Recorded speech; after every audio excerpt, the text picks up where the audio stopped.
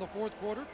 Uh, the Riders have broken a trend, though. The third quarter has been the Winnipeg Blue Bombers quarter, outscoring opponents by 50 points, over 50 points. And that time the Riders outscored them in that third quarter 10-3. Here's Greg Carr. And Carr tossed down about the 41, 42 yard line. And that's his first catch of the night. But you're right about being more aggressive, and, and the big plays have been coming on for the Bomber offense. In the last three games, they've had six passing plays over 30 yards. When they want to go deep, they usually get that started with Terrence Edwards. I'll give Carr eight at second and two.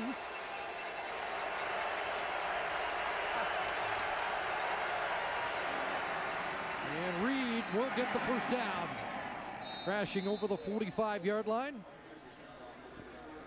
Yeah, I talked about Fred Reid's production down a little bit in his last game. He had 12 for 54. The game before that, 20 for 26. Jamie Barresi calling the plays, sticks with his script to run the ball. And we asked he and Paul LaPolice about the running game being down a little bit over the last two. He said he's not concerned at all. Part of the reason they're running a lot is because they've had leads late in the game run in the fourth quarter.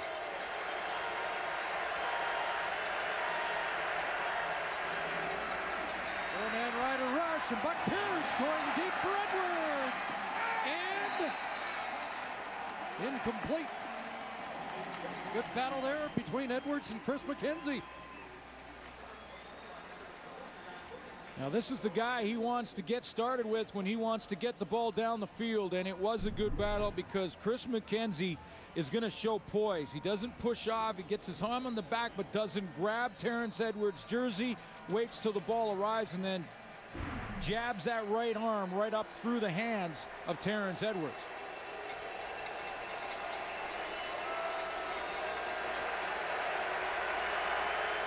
Second and 10 from the 46. This time they send pressure. Pierce unloading deep again. What a great coverage. A ball. Carr's got it. Well, there's the use of the mismatch. Greg Carr at 6-6, working against 5-8 Tristan Jackson. And I was expecting to see a bunch of that mismatch and that kind of matchup for the Bombers down near the goal line. They just haven't been down there often enough in this game this afternoon. The Brist is coming from Jerrell Freeman, picked up nicely by Fred Reid. That gives Buck Pierce a chance to throw. He moves the pocket slightly to his left and then lets that matchup take over from there. Greg Carr at six foot six come down with it. First 30 plus gain of the day for the Bombers, 35 yards to Carr. Winnipeg leading the league now with 15 passes of 30 yards or more. Pierce with a play action fake and then back to Poblah, shakes a tackle. Kito Poblah's got another first down, brought down by Jerrell Freeman. Kito Poblah comes back just a step. That shows confidence in this young receiver. You mentioned the great Canadian receivers that are on the verge of, of big things in this league right now. Kito Poblah is one of them. Corey Watson's one of them. He just takes a nice aggressive step back to the football. When he gets it here, he's going to come back. It takes confidence to not just go upfield there. Couple hard steps back. That buys him some open space on Jerrell Freeman. Pierce 8 for 10, 100 yards, second half. Here's Fred Reid. And Reid will get stopped. Ramon Willis and Dario Romero there. That'll set up second. And actually a loss on the play. This is what LaPolice talked about staying out of second and extras. And here it'll be second and 11. There's still lots of time in this football game, so it's too early to start thinking if you're Paul LaPolice about three down football. Ball on the 19.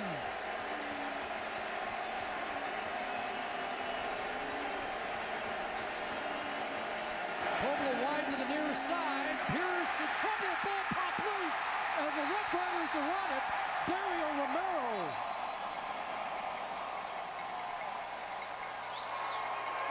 First takeaway for Saskatchewan.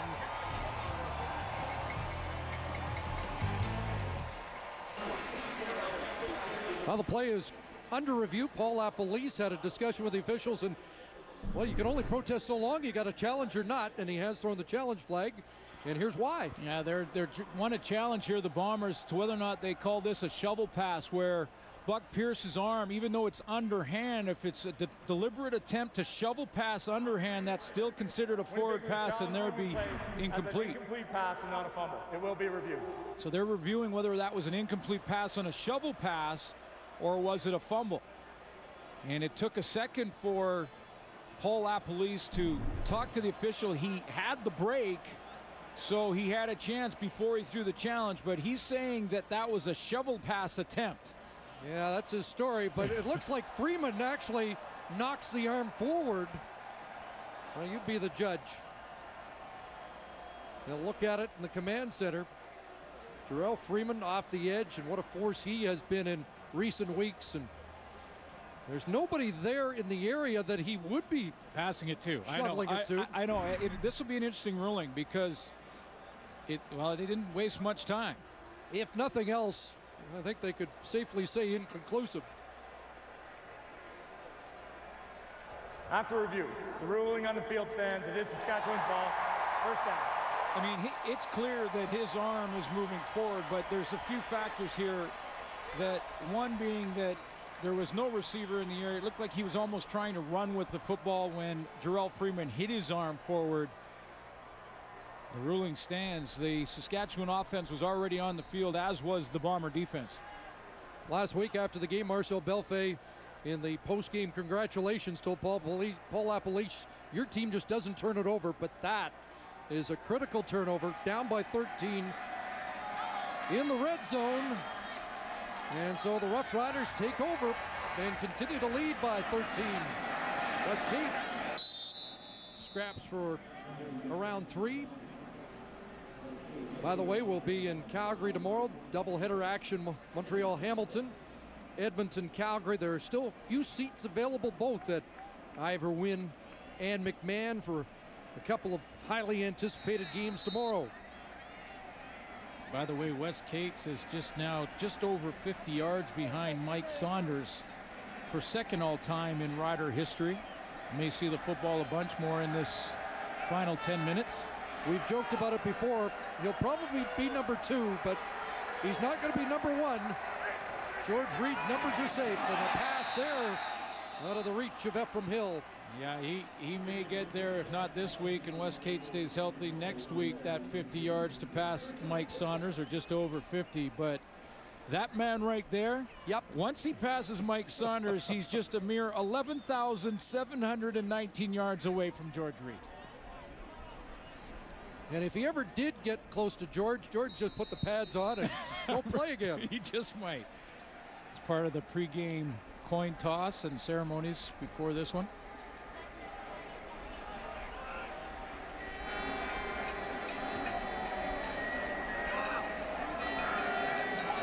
So Milo to punt it away. Good kick, Javon Johnson back at his 35. And Javon Johnson, boy, the downfield cover's been good for Craig Dickenson on his 40th birthday. 9.14 remaining, fourth quarter. Bombers still within reach, down by 13. But with the football, starting at their own 40-yard line.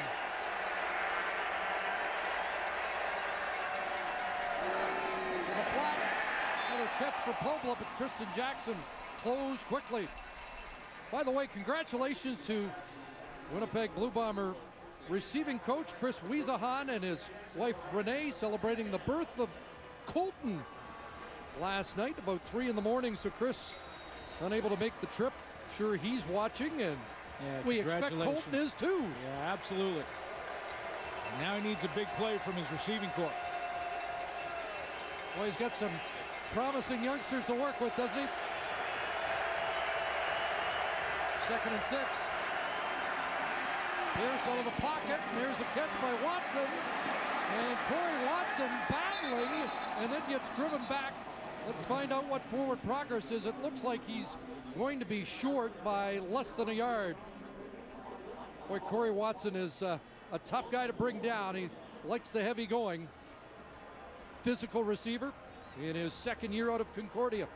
Still looking for his first 100-yard game of his career. That's going to happen sooner rather than later. Second on the team, though, in second down conversion catches. Now, this one's going to be just short, but short enough that the Bombers can go ahead on third and less than one.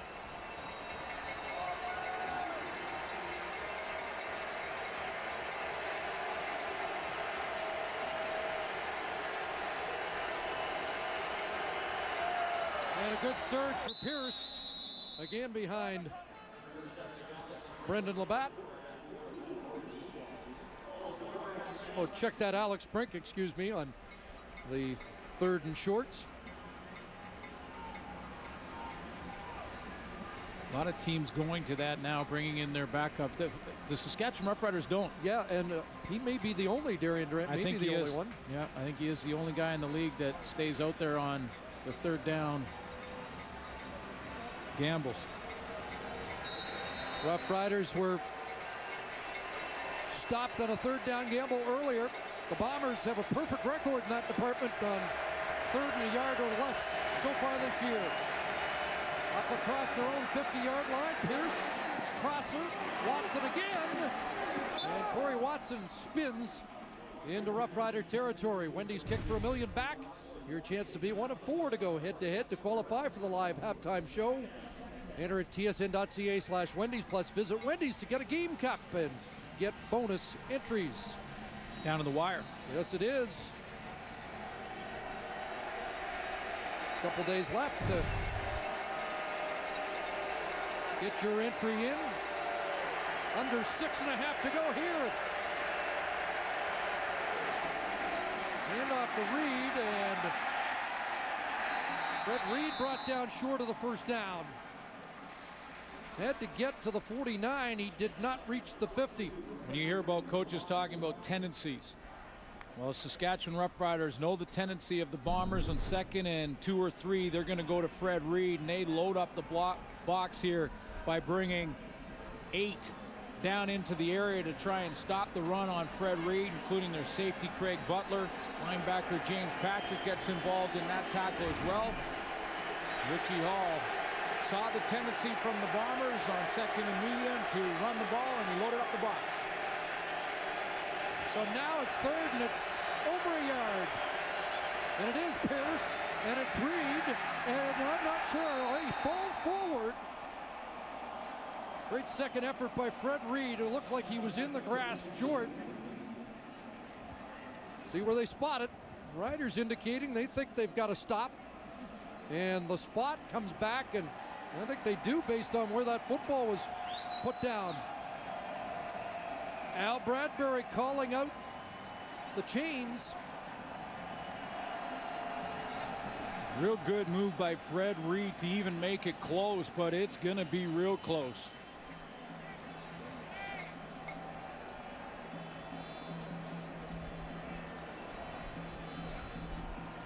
Looked like they had to get closer to the 49 than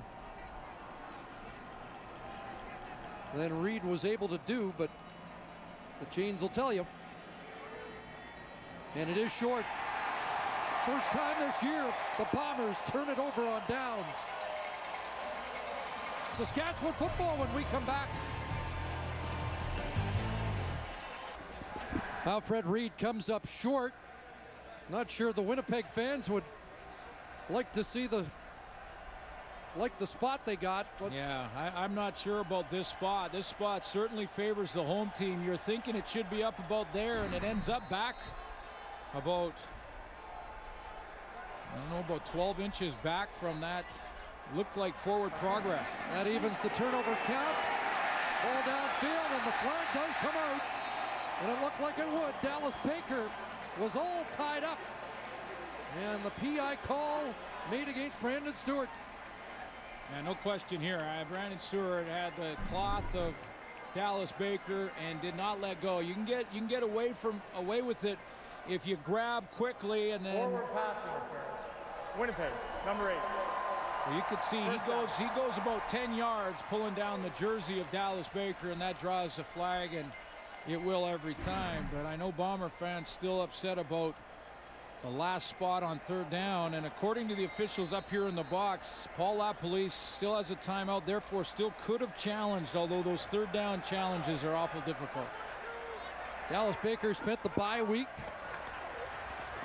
here with Darian Durant to try and get on the same page. Wes Cates, and we've got a scrap going on between James Robinson and Brandon Stewart. And another flag comes down, and which way's this one going? Is it back to back against Stewart, or is this one going against the Rough Riders?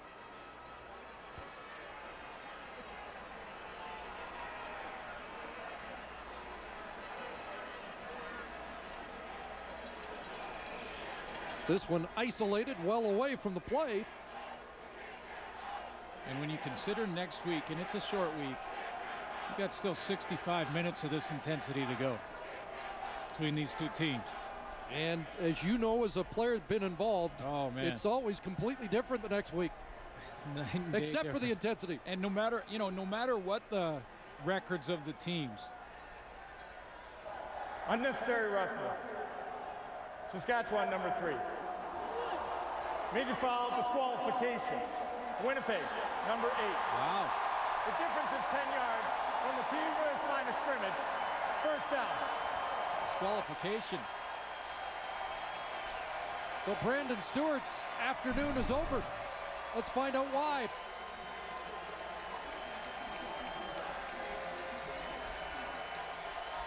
Cut off the line by James Robinson and started swinging.